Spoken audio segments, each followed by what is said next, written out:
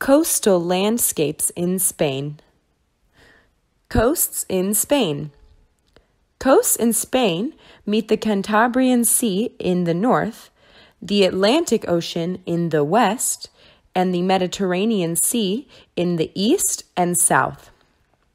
The Cantabrian coast is high and rocky with many cliffs. It has many rivers and big capes. The Atlantic coast has many different landscapes. The coast in Galicia has cliffs and lots of rias.